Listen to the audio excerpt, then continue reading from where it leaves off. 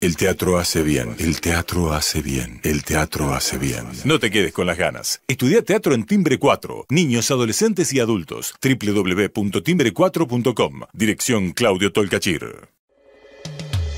Letras y corcheas. Un encuentro con músicos y escritores. Una hora para disfrutar de canciones y textos contado por sus autores. Letras y corcheas los jueves de 22 a 23 con la conducción de Hernán y Mario Dobri. Buenas noches, bienvenidos al primer programa de Letras y Corcheas. Hoy comenzamos un ciclo en el que nos van a acompañar escritores, poetas, músicos.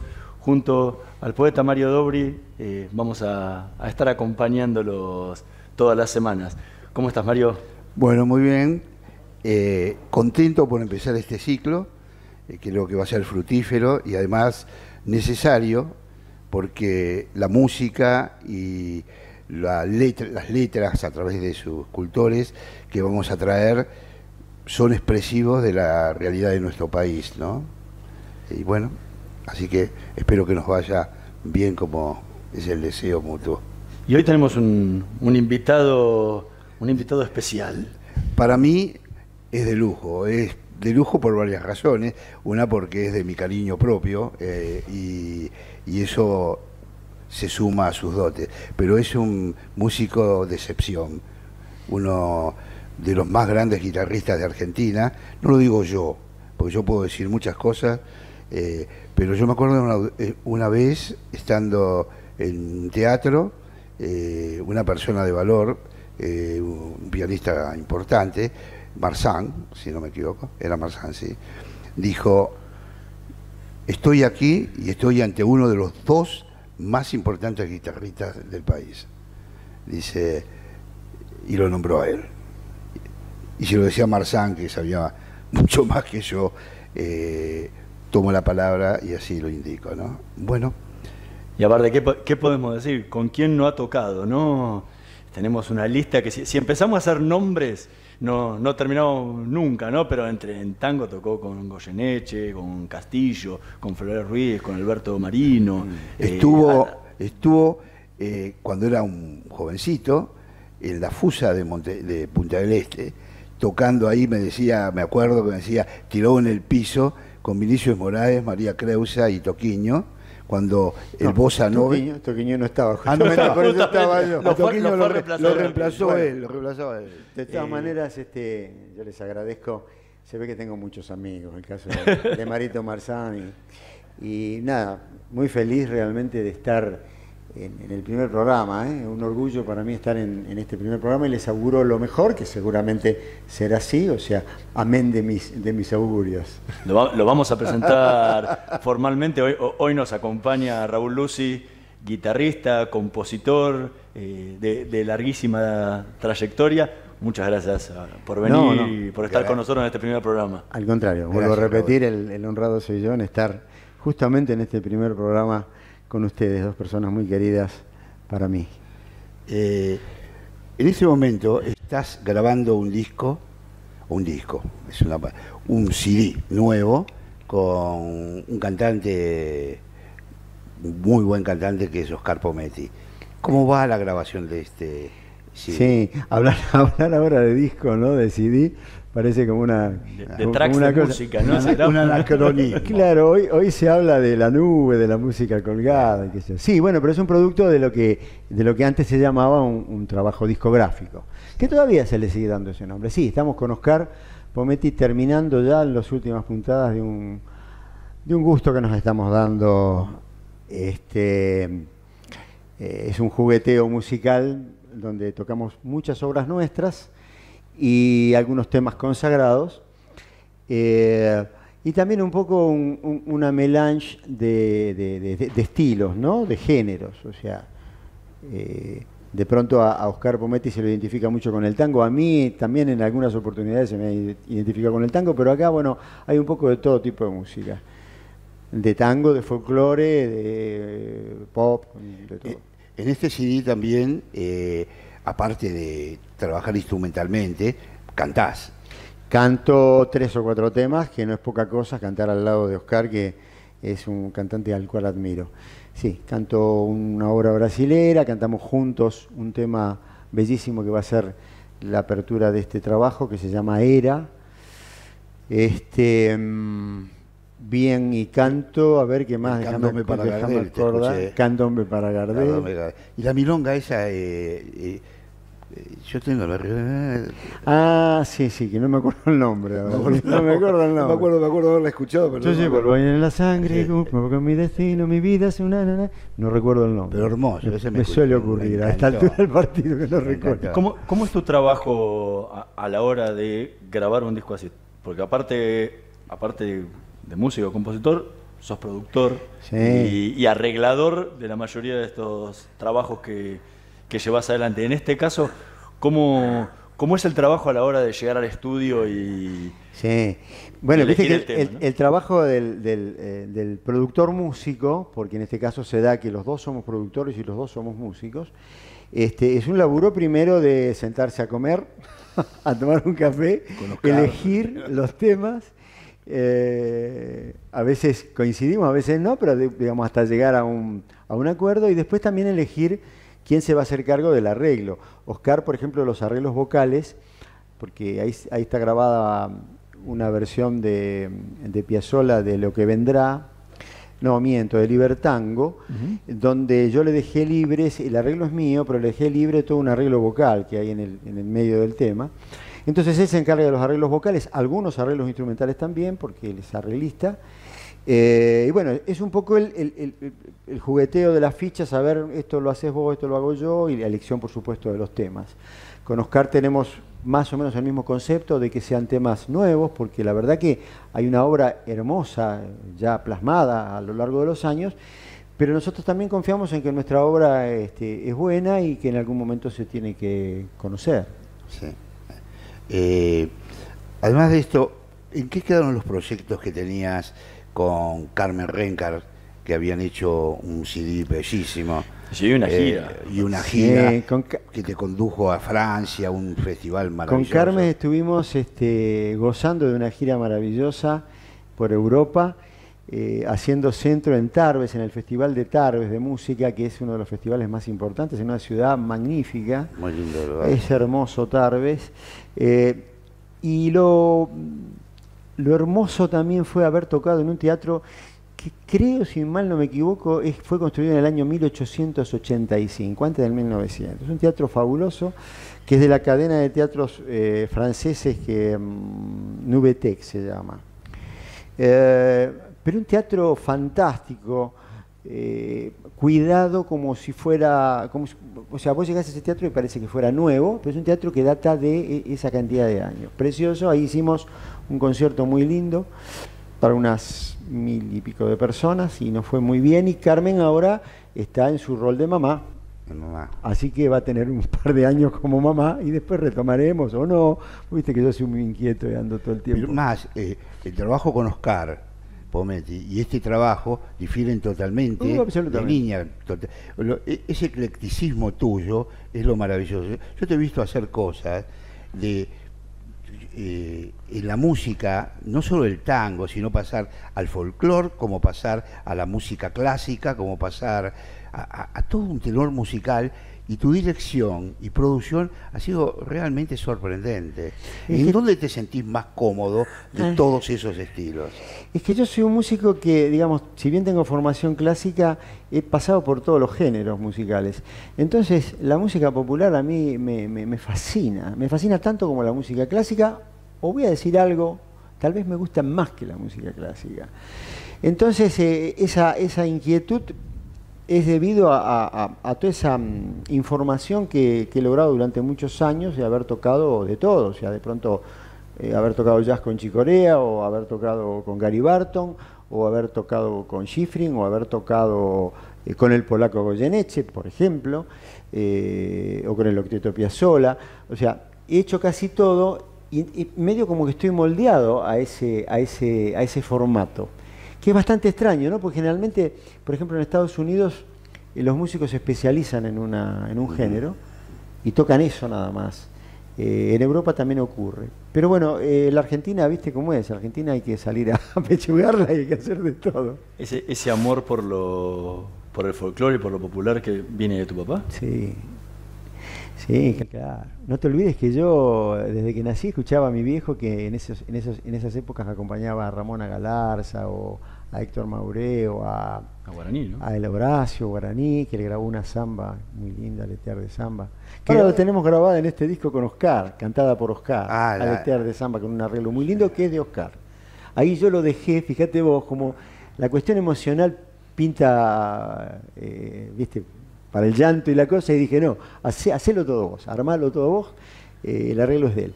Bueno, y como me, me- me- nací en ese, eh, con, ese, con ese juguito de la música eh, nacional, a mí, por ejemplo, yo me emociono tremendamente con el folclore litoraleño. Mi papá era de, nacido en, cerquita de Rosario, en Villa Amelia. Entonces, para mí el folclore litoraleño es, es algo que me pega muchísimo, me emociona muchísimo. Y por supuesto me gusta el tango, me, me gusta la música, chicos, me encanta la música, vivo por la música. ¿Nos darías algún gustito de escucharte? ¿Cómo no? A ver si lo, si lo ubican, ya que estamos hablando de música del mundo.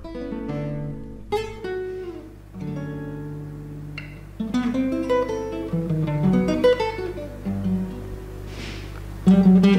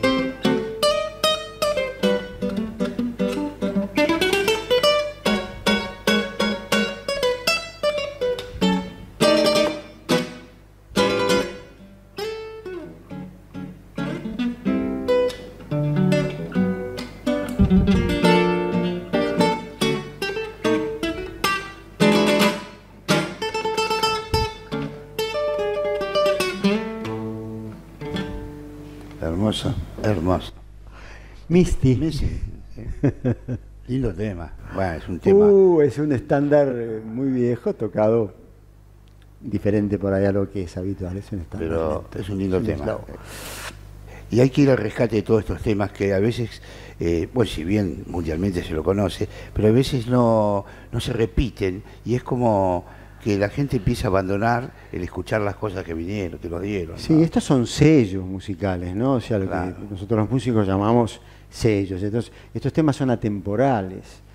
Esto se ha escuchado en el año que se compuso, que no sé, será del 60, por ahí, una cosa así, y hoy se sigue tocando, los músicos de jazz siguen tocando Sí. Misty, ¿no?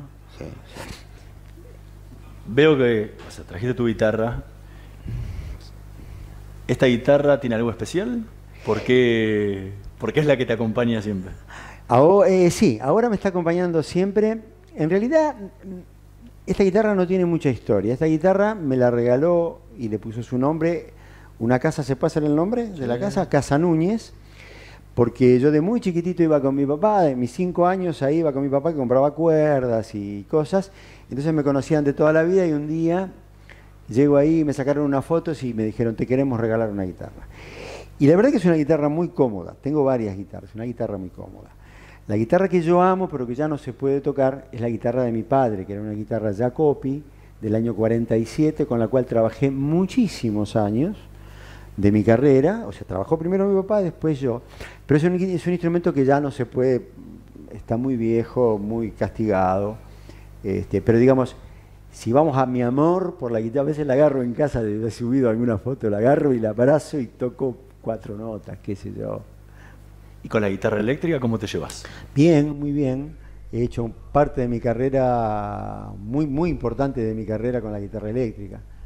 Muy bien, muy bien. Sí, es un instrumento que me gusta y, he aprendido a, quererla, porque viste que el, generalmente concertista o que ha estudiado música clásica, está buena las preguntas, medio que le raja a la guitarra eléctrica, pero nada, eh, no, no, yo me llevo muy bien, amo, amo las violas todas, todas. ¿Y qué diferencia hay a la hora de, ejecutar una y la otra? A la hora de ejecutar, eh, generalmente la guitarra eléctrica no se toca así utilizando los bajos y el acompañamiento, se toca más en tres notitas y muchos solitos y notas sueltas.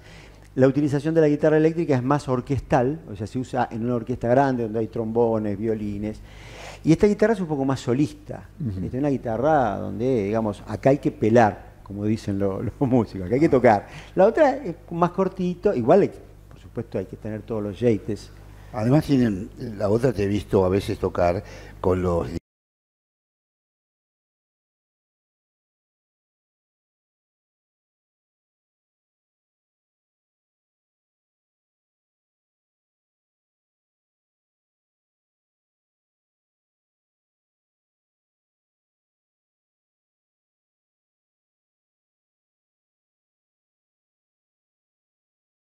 y sale un violín. Este, hoy es, eh, digamos, el, adelanto en ese aspecto es, brutal, es casi inimaginado para aquellas épocas en las cuales yo empecé, en los años 70, donde había algunos pedalcitos para la guitarra, viste, el guagua, el, distorsionador, el, chorus. Bueno, hoy... Eh, sí, las pedaleras son impresionantes. Impresionantes y con una capacidad de de sonoridades distintas, increíbles, hasta la que yo te digo, hasta lograr sonidos reales, porque son sampleados, de cuerdas, de trombones, de... Y, Raúl, y las guitarras eh, acústicas, pero que tienen salidas eh, por parlantes y... Eh, ¿Qué diferencia hay con este tipo de guitarra Nada, esta lo tiene. Directamente. Acá está, lo muestro. Esta lo tiene. Tiene esa posibilidad. Tengo otra que no lo tiene. Eh, nada, se toca exactamente igual, lo que se reemplazaría es el micrófono físico, entonces sale por una línea y va a una consola, pero digamos, el, no hace al hecho de cómo tocar el instrumento, el, instrumento lo tocas exactamente O sea, le da potencia de salida. Salida por, no es potencia, sino salida por otro vehículo. En vez de tener un micrófono que tome la boca de aire, sale por intermedio de un micrófono incorporado que tiene adentro la guitarra. Sí, a mí mucho no me gusta. no, no era la verdad pero eh, porque acá vos puedes dominar un poco más el, sonido y el alejarte y buscarle la vuelta. ¿Y cómo te adaptás? Recién hablabas de todos los cambios tecnológicos que, están habiendo. ¿Cómo te adaptás a todo a toda esta cosa que todos los días cambia la tecnología y, lo que te abren como, como, intérprete? Me encanta porque yo le saco mucho el jugo a la, a la tecnología.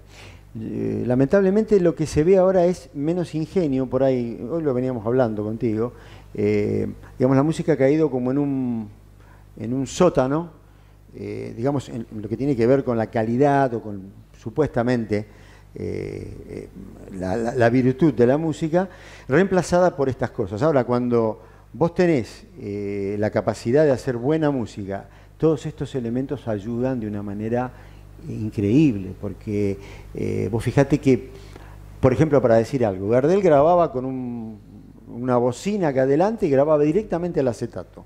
Vos hoy podés grabar en un estudio donde tenés un programa donde podés cambiar las notas, donde podés afinar las notas, donde podés dar otro sonido. ¿Vos te imaginás si Carlos Gardel, que yo lo amo, y, sigo diciendo que es el mejor, aunque se en todos los cantantes del mundo. ¿Vos te imaginás si Carlitos Gardel hubiera tenido la oportunidad de estar hoy frente a, esos, a, esas, a esas posibilidades técnicas? Ah. No sé, hubiera sido Dios. Así que literal, ¿eh? Dios. Sí, así es. Porque hay excelentes cantantes en el mundo, qué sé yo. Frank Sinatra logró, por ejemplo, entrar en esa tecnología, Barbara Streisand, bueno, eh, y otros tantos. Luis Miguel, que es un excelente cantante. Pero Carlos lo que hizo lo hizo a pulmón, es como si estuviese cantando en la calle, ¿viste? Como si hubieras esos, esos, esos eh, músicos callejeros hoy cantando, bueno, así lo hacía él. La guitarra atrás tocando con una púa, todo lo que da, y él con una bocina maravilloso. Nosotros, estamos, nosotros, digo por, por Hernán y yo, eh, tenemos una costumbre en casa de años. Cada vez que compramos esos equipos tecnológicos de último grito y última moda, lo primero que se escucha es a Gardel, porque decimos para limpiar de sonidos malos el equipo. Y para, para bendecir, para bendecir el equipo. Así que lo ponemos a Gardel, que es como decir, va a limpiar la tecnología actual para dejarla bien. Hay dos artistas, yo, esto lo digo siempre, ¿no? Sin menospreciar, admiro a toneladas de artistas en el mundo, pero hay dos artistas que a mí no me aburren. Los músicos nos aburrimos rápidamente de escuchar música. O sea, a mí me ponen, por ejemplo, tres tracks o cuatro de un intérprete, por más que sea genial, y ya me quiero ir. Pero porque, bueno, porque uno vive de esto y está ahí los sonidos. Hay dos personajes que a mí no me aburren, y a muchos músicos no le aburren. Uno es Carlos Gardel y otro es Astor Piazzolla. Yo puedo escuchar a Gardel días. Es más, lo que hacen ustedes lo hago yo a veces. Me paso horas escuchando a Gardel. Como me paso horas escuchando a Astor, ¿no? Lo mismo. Sí. totalmente de acuerdo. ¿Y entre guitarristas, qué, referentes tenés? Mirá, yo tuve la oportunidad maravillosa de estudiar con Oscar Alemán. Yo creo que te lo conté en alguna nota a vos. Eh, Oscar Alemán para mí es el guitarrista por excelencia argentino. Y más que el guitarrista, el artista. Hacía todo, bailaba, tenía simpatía, era un divino total. Eh, es uno de mis, referentes. De los músicos eh, extranjeros me gusta mucho Joe Paz. de hecho, le, he hurtado algunas, algunas frases y algunas cosas. Eh, a ver, tengo infinidad de guitarristas. Estudié con un guitarrista argentino muy bueno, se llamaba Alfredo Alchurrón. Este, estudié con Tapayaos en, Brasil. Eh, qué sé yo, no sé, sería larguísimo y no quiero quedar mal. Casi todo lo que he hablado están muertos. para, que no me tiren de la oreja. Estamos conversando con el guitarrista Raúl Lucy. Vamos a hacer una Pequeña pausa, en un minutito más volvemos con Letas y Corcheas.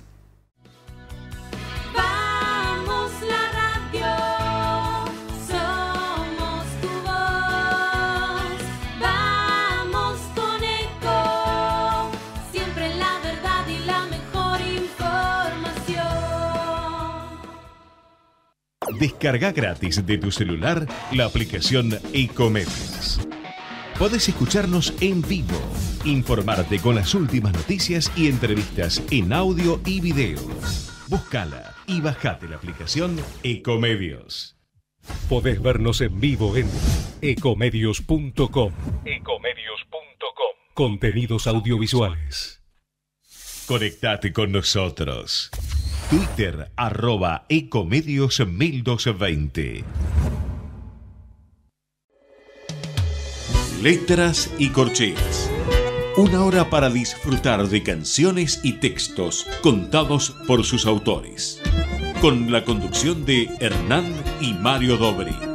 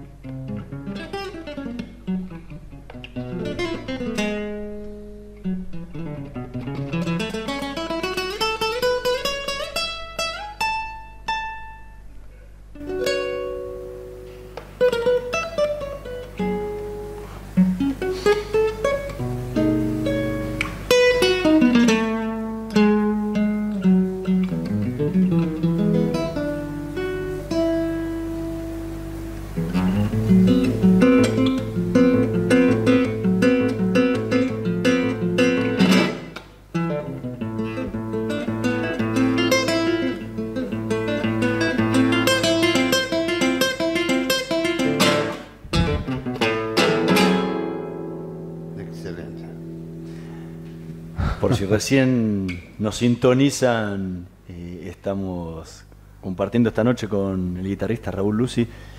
Presen- ¿Podés presentar el, Sí. el tema? Este es un tema muy, muy querido por mí y poco difundido, gracias que me permitieron ustedes tocarlo aquí. Es una obra que yo compuse a través de una situación que me ocurrió con un amigo, un amigo del alma de mi niñez, que manejaba un taxi en la ciudad de Buenos Aires y me contaba, siempre me decía, Raúl, dice, ¿vos sabes el lío que es manejar y la gente y el mal humor y todo corriendo? Y es un Buenos Aires tan complejo y tan difícil y tan complicado y tan revolucionario. Y se me ocurrió la primera parte de este tema. Y este chico fallece laburando en el taxi. No es muy agradable por ahí para la audiencia escuchar estas cosas, pero es la verdad. Fallece en el taxi laburando. Tiene un problema cardíaco y muere. Y ahí compuse la parte lenta hacia él y le puse en honor a él, le puse Preludio Urbano número uno. Es la manera de ver la ciudad que tengo yo a través de él, que estaba todo el día en la ciudad de Buenos Aires.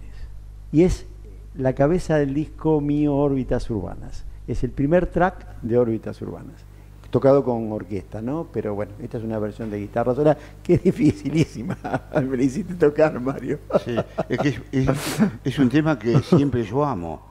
Eh, de todo eh, el CDS de órbita, que es para mí una obra mayor, bellísima, realmente Gracias. bellísima. Mira, muchas más- muchas gracias. Realmente, te lo digo realmente, eh, bellísima. Eh, este tema es especial para mí. Lo toqué para la audiencia, para Sí. Hernán y especialmente para vos porque me lo pediste. Sí. Hace un montón que no lo toco. Sí, sí, lo sé, lo sé, pero me, me gusta mucho, me gusta muchísimo. Y más cuando, cuando eh, el trabajo tuyo con la guitarra para el tema, que es bastante complejo. Es muy complejo Muy mal, técnicamente. Pero cuando sí. es- está orquestado con toda la orquestación que has hecho, es una maravilla.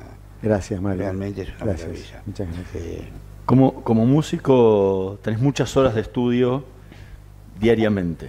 Sí. ¿Con qué estudias?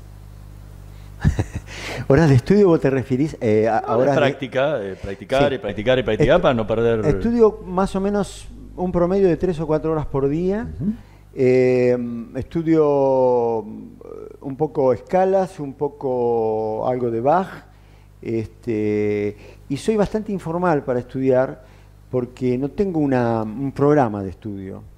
Eh, ¿Será porque fue tan estructurada mi vida en el conservatorio que, que no viste patear el tablero?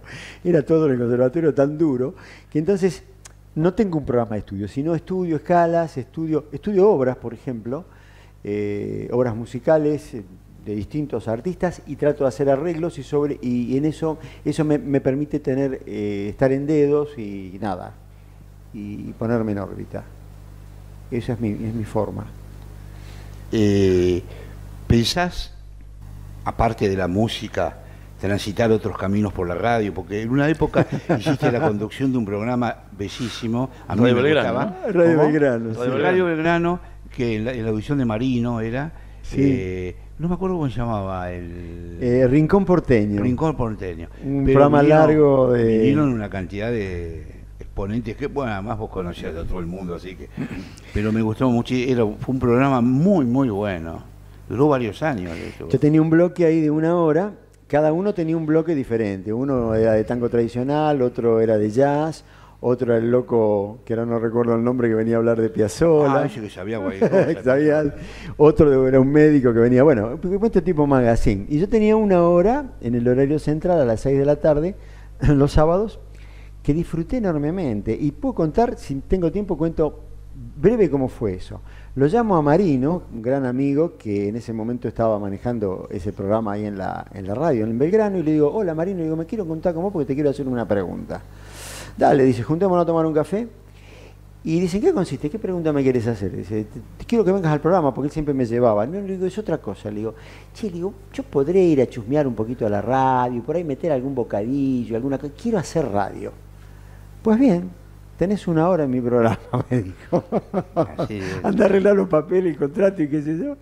Y así fue, vos, a vos te consta porque yo te lo consta. conté. y empecé un programa con un temor terrible haciéndole el reportaje a Osvaldo Berlingeri. Nada más y nada Ah, ese menos. fue el primer. el primero, Ah, en la casa porque el Tano estaba eh, convaleciente. Bueno, y ahí se surgieron, yo hacía uno por semana, surgieron infinidad de, de otras este, charlas. Yo no las puedo, no puedo hablar de reportajes porque no soy periodista, no soy nada de eso. Charlas informales con los artistas, que casi todos eran amigos míos, y por ahí pasaron, qué sé yo, eh, el, el hijo de Piazzola, Daniel Piazzola, el nieto, el Pipi Piazzola, que vos lo has tenido en el programa también, eh, Daniel Vinelli, eh, bueno, qué sé yo, infinidad. McCluskey también ¿no? McCluskey, el creador de los Mackie Max, este, infinidad de artistas eh, que venían gustosos porque yo ni sabía que también podía tener tal convocatoria con mis compañeros porque, para hacer eso, porque era algo que yo, a ver, este, y ahora creo que empiezo, no puedo decir nada, creo que empiezo de vuelta a Empezás algún ciclo quizás ahora Sí. en un tiempo. Bueno, y eso es lo que tiene que ver con fuera de la música. Sí, o pero, tal vez dentro pero de la- también, con- no digo, también fuera de la música porque no, no- sal- salís del, del ámbito de, de- de lo que tiene que ver con, con con la música, la y- parte tradicional, ¿no? De arreglar, producir, tocar. Eh, pero también incursionás en otro arte, en la pintura. Oh, sí, pero ya no, ya casi no, muy poco. ¿Por qué? Eh, A una época me dijiste que era, el, Mirá, mi- e- e- era como un relax allá en Londres, En mi- provincia de Catamarca. En mi pueblo, Eh, sí. Eh, mirá, fíjate, vos me traes a la memoria, para mi cumpleaños, este último, Silvia me regaló un set de, lápices especiales y demás, que lo tengo ahí. Silvia es mi mujer. Eh, Silvia Reyes, una cantante y actriz maravillosa. Este, me trajo un set de, para, para ponerme el bichito de vuelta. Sí, yo pintaba de chiquito, me gané un premio y sí, hasta hace unos cuatro años, tres años allá en Catamarca agarraba, pero últimamente vos podés creer que, mira, tocaste una cosa que debería volver a, volver a hacer, porque me, baja mucho a, tierra, ¿no? Es como un cable a tierra. Me encanta la pintura, me fascina. A ver, tampoco soy, no soy un profesional, yo soy un profesional de la música. Hago eso por gusto, qué sé yo. Eh, sí, pero no, ahora hace como tres años o cuatro que nada, no pinto nada. Me voy a empezar a pintar los labios. Y bueno, por algún lado hay que empezar. Y la verdad sí, que sí, bien, la verdad que sí. bien. ¿Hace mucho que no vas a Catamarca? Eh, no, voy dos veces al año a mi pueblito de Londres, que amo tanto y que le mando un saludo a la gente que me quiere tanto y que allá por arriba de la montaña a veces me escuchan en algún programa de radio y bajan y me dicen, Don Raúl, lo escuché con qué Es un lindo yo". pueblo, ahí- Sí. Yo me acuerdo haber ido ahí para Quimivil, ¿lo viste que está el río Quimivil? Y el Quimivil, el, Xincal, Quimivil, sobre todo. El que es la parte Está histórica. cerca de tu casa, creo, ¿no? Muy cerquita, 20 cuadras está el, el, el Xincal, que ahora está muy bien organizado y hay excursiones. Sí, es mi amor ese lugar. Y, y bueno, va a haber que ir a visitarlo a Raúl allá. Cuando quieran, cuando Yo he visto que tiene unos cuantos nogales y a veces está Tengo, partiendo. tengo, tengo. Porque vos le decís de No los solo has visto, has comido mis nueces. Sí, vos le decís, ¿sabés cómo parte las nueces? No digo así que Así no, las pulpeo no yo. lo- Sí. Sí, sí, sí. Sí, sí, sí, lo tenés que ver vos se llaman, viste, romperlas y sacar el corazoncito de la... Sí, lo hago, lo hago. Sí, sí, tengo mi cosa, mi cosa campera también. Sí, Salgo a mi viejo, mi viejo nació en el campo. y- claro, claro, claro. Y- pero, eh, eh, Te traje una sorpresa. a ver, Mi amigo Mario Dobri es un, un gran letrista y he tenido la suerte de ponerle música a unas cuantas obras de, de Mario. Hemos trabajado duro. Una de ellas, y la que tal vez más me, más me emociona para hacerla, para cantarla, es este tema que se llama Llueve.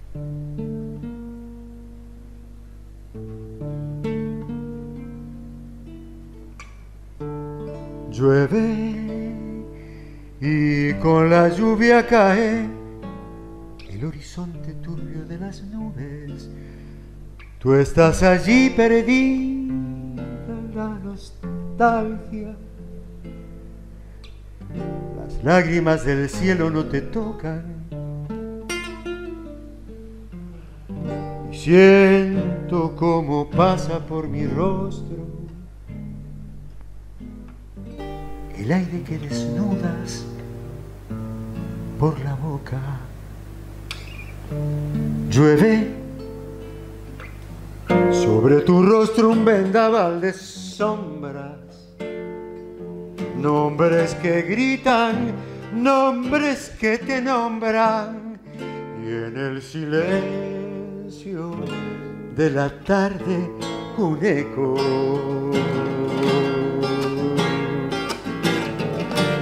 Eco de tu voz, dormida en esta mesa de cristal que esperas sin esperas regresar.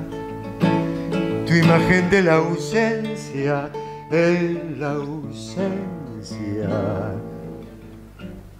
Suena el leve son de un piano en esa esquina del salón que imita el aleteo de tu voz entre las voces mías, solo mía.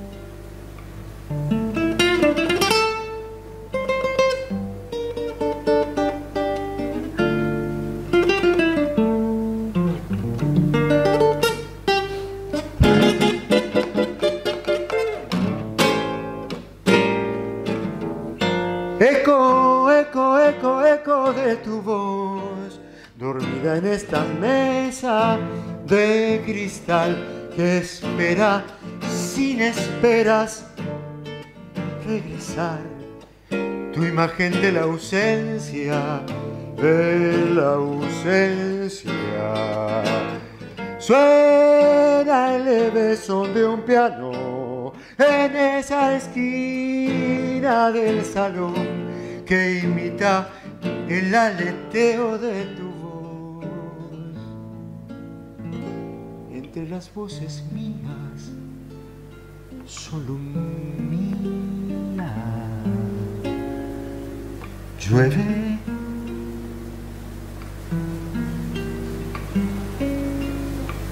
Llueve.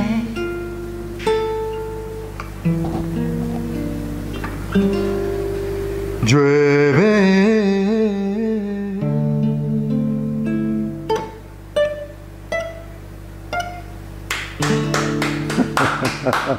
Mu- muchas gracias, Raúl, la verdad, me has emocionado. Pues es que este es un tema, bueno, ya lo sabías vos, que yo lo escribí cuando tenía 20 años. Eh, ay, mirá si ha pasado. Mucho años. amor en ese tema. Sí, no cabe ninguna duda, Mucho pero amor. tu interpretación y tu calidad de músico siempre me sorprende. Gracias. Te tocó cantar. ¿Estudias? No. ¿Canto? Yo canto de chiquito, ¿sabés? Que yo empecé cantando en la revista Dislocada. Una vez con Fernando Bravo nos morimos de risa en un programa, porque yo cantaba un tema que se llamaba el Suku Suku.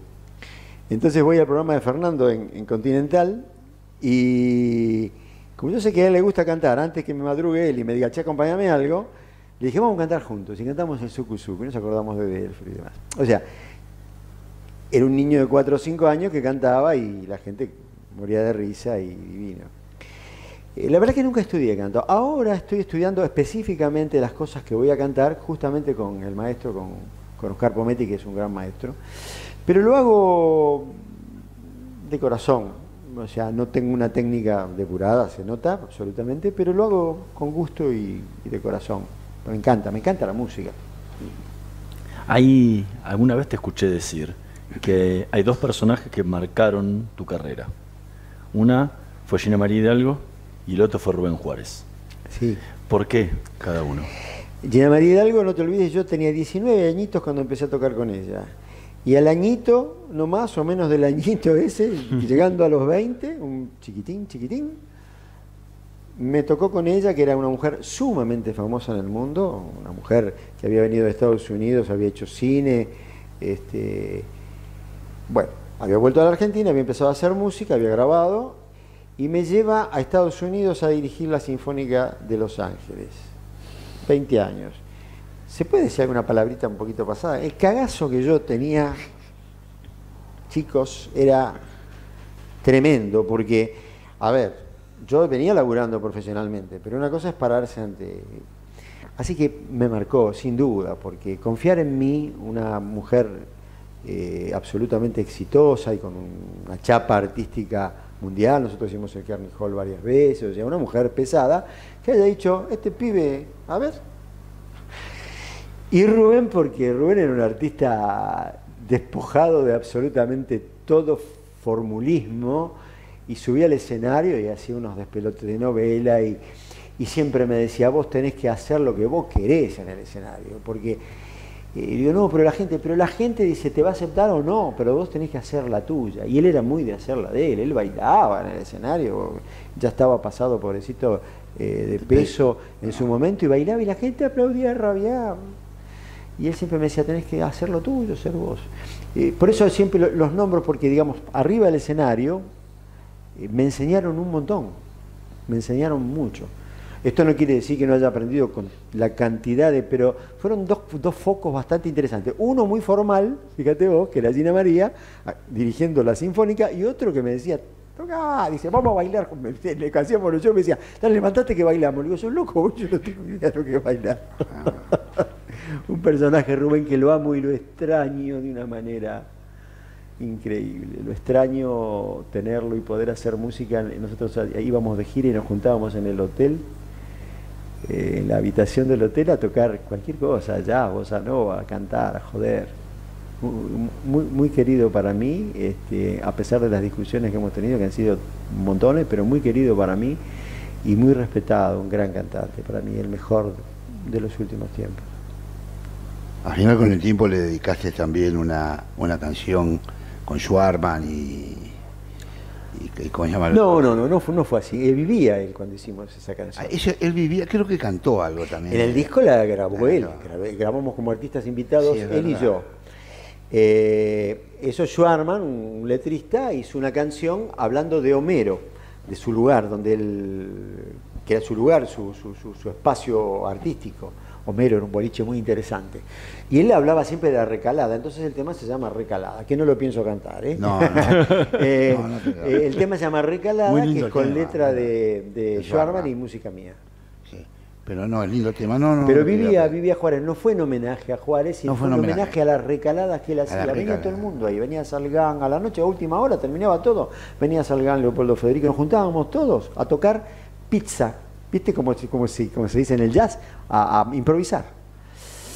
Este, Muy lindo, el negro, un, un- un- un músico increíble. No se lo pierdan. Si hay alguien que, que no lo ha descubierto o, o alguien que lo ha escuchado poco, pónganse ahí en el YouTube. Hay cada cosa de Juárez, Juárez, impresionante. sí. De su época gloriosa, que fue los años 70, que estaba impecable de la voz, hasta su último tiempo donde había crecido como artista de una manera exponencial. Una expresividad inmensa. Absoluta. Verlo tocar el bandoneón y cantar, sudado. lo viste que Se estaba. jugaba la vida en el Sí, pero era, es, es algo. y yo lo miro a veces y me emociona verlo nada más. Eh, es un bueno, es un artista sorprendente, ¿no? Que lo, como decís vos, no debe, no debiese ser olvidado No. para nada, ¿no? No. Que, como Gina María Hidalgo, Es por un ejemplo, pecado, es un ¿no? pecado argentino. Otra, de- otra, de las, otra de las cantantes grandes que se la pasa poco o nada. Pecado. Yo también toqué con Lolita Torres, otra persona que eh, ha hecho como 20 películas, ha sido eh, fundamental para la música argentina. Y hoy, bueno, por eso te digo, han cambiado los códigos y se escucha otra cosa. Y yo creo que ha caído la música en un, en un foso un poco difícil de remontar, pero bueno, tenemos fe. Los que hacemos música siempre tenemos fe en que puede cambiar. Sí, Bueno, yo- también cambió la forma, ¿no? En, en- en esos años que recordás, dirigías y formabas parte de las orquestas de los canales, cosa que hoy, No existe. hoy ya no existe más. Una- Una pena, una pena porque es una fuente de trabajo que se ha perdido y este y una pena que en los canales también se le dé muy poca pelota a la música. Hoy es el baile, es, es este el que ya conocemos, muchacho famoso de Canal 13, Hincha de San Lorenzo. hincha de San Lorenzo, que hace ese programa este, especial, muy comercial, porque fíjate vos que ese mismo que hacía este señor lo hacía Velasco Ferrero, que era un programa también medio vulgarote, pero tenía una orquesta y venían artistas. Al programa de Velasco Ferrero vino, por ejemplo, qué sé yo, eh, cantantes de bolero im- importantes, este, ahora no recuerdo los, los nombres, pero han venido artistas importantes porque tenía un bloque que era de música en serio, después tenía el baile y la tontería. Eh, Este muchacho sabe que se ha olvidado de eso o no le interesa o no le, es necesario para recaudar. Sí, pero también tampoco hay lugar donde te pueden tocar, aunque sea ni siquiera bandas. No. Antes había. To- Totalmente. Bueno, eh, por eso cada, cada músico recuerda con tanto amor y tanto cariño a Badía. Claro, Badía eh, fue el último programa, Badía y Gerardo Sofovich que traía a los artistas internacionales y demás, fueron los dos últimos tipos en televisión que permitieron la llegada del músico en vivo, con un, con un audio de la Gran 7, porque lo, lo manejaba un gran, un, gran profesional del audio que era Teddy Goldman. Se ponía el audio como si fuera un concierto en el Luna Par o, o en un estadio. Eso tenía Badía armado y lo tenía Sofovich. Y pasaron todos los artistas del rock, del tango, eh, y era un programa de música, tenía algo, qué sé yo, tenía Lambert Time, por supuesto Sí. tenía que tener alguna cosa, pero sí, sí, sí. Yo lo recuerdo con mucho cariño a Badía y a Gerardo Sofovich tampoco hay que olvidarse que hasta el último tiempo trató de, hasta que al final tuvo que transar en el último tiempo con un programa un poquito más, este, porque las reglas del juego son estas ahora. Pero bueno, la vida cambia. Lo que pasa es que el hoy parece ser eh, el minuto a minuto y como todos tienen acceso a los medios de divulgación, entonces todos tratan de hacer lo que están haciendo como si fueran protagonistas ellos de todo y se olvida la historia de atrás. La historia pasó a un segundo plano que ni siquiera ya en los colegios se enseña historia. Entonces nos olvidamos inmediatamente de los grandes precursores del arte nuestro o el arte mundial. Eso es lo que, no quiero decir que haya que escuchar nada más que el arte anterior. No, pero lo que nada, quiero pero decir debería es, estar presentes, o sea, Sí. recordarlos de vez en cuando. Sí. Este, a veces los natalicios o, la- o los fallecimientos de los artistas pasan desapercibidos para los medios. Estamos hablando de gente que hizo mucho por, por nuestro arte. Eh, muchísimo, Muchísimo, por nuestro muchísimo. arte. ¿Qué sé yo? ¿Se, acu- se acuerdan poco también de Gardel hoy o se acuerdan poco de Lolita Bueno, Torres? casi que, no hay que audiciones. su música, La- nuestra música la llevó a Rusia. ¿Sabes lo que es Sí. para un ruso escuchar un, A- a Lolita Torres. A Lolita Torres, un la película chamamé, de ella, las películas de ella llegaban. Eh, eh, son creo que gente realmente trascendente que, a ver, si bien hay artistas maravillosos hoy, deberían estar en el recuerdo de vez en cuando. en- en- Debería haber audiciones y cosas para escucharlo. las hay, las hay, pero son pocas. Son muy poquitas y muy, muy, o sea, que no le- igualmente hoy divulgar que una audición de una radio sea divulgada al público es difícil porque la dispersión que hay de medios hace que la audiencia sea peleada por 27 millones de personas de medios y es difícil. Eh, antes había un sedazo mucho mayor para que los grandes músicos, las grandes cosas se plasmaran. Hoy eso no existe, es, muy poco lo que existe. Entonces es el éxito inmediato lo que prima. De todas maneras, les agradezco porque ustedes son la excepción. Estábamos hablando de los medios macro, digamos, este, pero después hay montones de- de- de- de programas de radio y algunos programitas de televisión que se acuerdan de los artistas. ¿eh? O sea, la vez pasada me hablaba Donald, que hizo una, que fue un cantante popular, no importa si bueno o malo, que hizo una recorrida en varios canales y bueno, se lo recuerda porque, a ver, te guste o no te guste, fue una época, fue un sello. ¿Quién no cantó? Las olas y el viento, y el frío del mar, la, la, la, el frío de tu alma. ¿Qué te parece? De una familia como la de él, que Como la de él, de músicos y de artistas. música, de grandes músicos y de- de grandes- Raúl, se nos acaba, se nos acabó el Pero programa. sí, ya sé, ya sé, yo estaba Llegamos- pensando llegamos- justo. Se nos acabó, se pasó rapidísimo. Bueno, yo les agradezco infinitamente, en serio.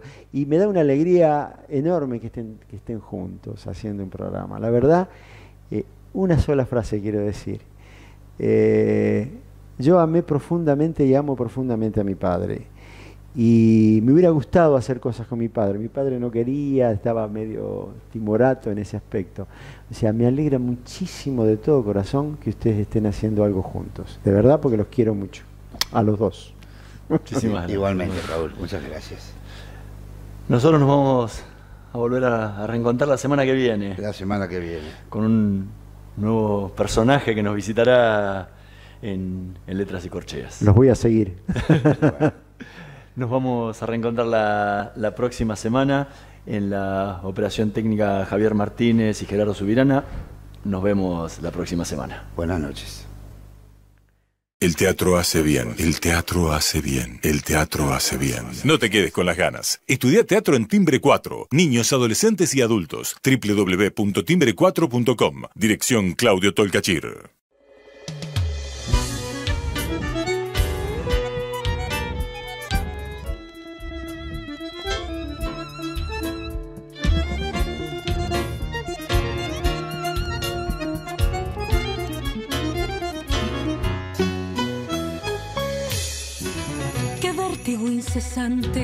Que andar toda prisa, montada la cornisa y al borde del suicidio, amar a cuenta gotas en un delirio vano, corriendo a contramano, subida a la autopista, que fuga hacia adelante, cerrada mis silencios, jugándole al presente y haciéndole gambetas, mirar la calle enorme como una puerta abierta, donde la gente corre sin pausa y sin presencia. ¿Quién soy? ¿A quién esquivo? ¿Qué busco? ¿Qué deseo? Atada por los miedos de no llegar primero, dormirme en un semáforo soñando fantasías y despertar de pronto a un coro de bocinas.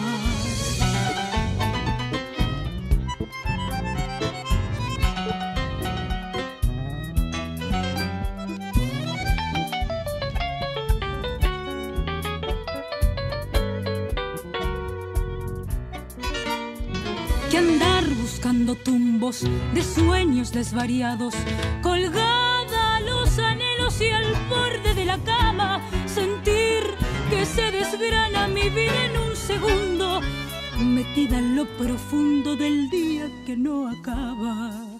Qué estado de zozobra, qué tiempo delictivo, mordiéndome los puños, quebrada por los miedos, sentir que las veredas se pegan a mis piernas el mundo es como un lobo que acecha mi presencia. Qué búsqueda insaciable, qué inmenso desvarío. La multitud golpea mi rostro en cada esquina y en la noche sombría mi corazón se agita, domado por un sueño que me habla de la vida. ¿Quién soy? ¿A quién esquivo? ¿Qué busco? ¿Qué deseo? Atada por los miedos de no llegar primero, dormirme en un semáforo soñando fantasías y despertar de pronto a un coro de bocinas.